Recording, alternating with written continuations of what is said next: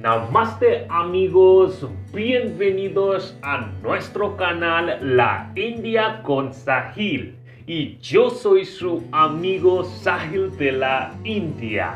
Cada dios hindú tiene un vehículo o un animal particular en el que viaja. En el video de hoy veremos a los famosos dioses hindúes y sus vehículos.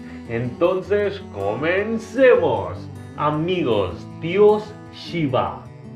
Dios Shiva monta el toro Nandi que representa el poder bruto y poder ilimitado. Siguiente, tenemos diosa Saraswati. El vehículo de la diosa Saraswati es el elegante y hermoso pavo real. El pavo real, vehículo de la diosa Saraswati, representa la sabiduría, la gracia y la belleza. Siguiente tenemos diosa Parvati, diosa Durga o diosa Kali. Su vehículo es un león.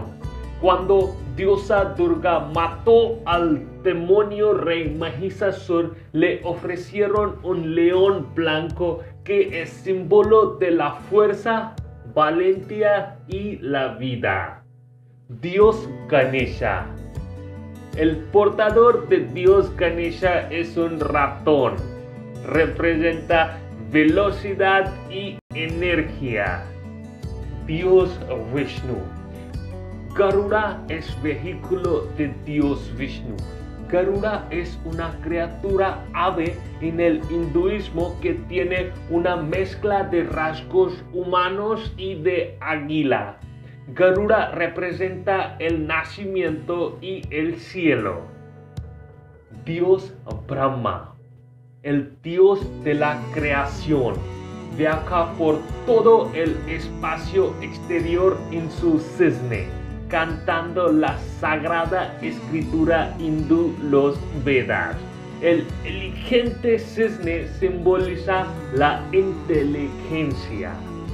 Diosa Lakshmi, la diosa de la fortuna, la riqueza y la prosperidad monta el viejo y sabio bujo blanco. Además de la sabiduría, el pájaro también simboliza la paciencia y la inteligencia. Luego tenemos Suryadev, el dios del sol. Suryadev se monta en un carro dorado tirado por siete caballos blancos.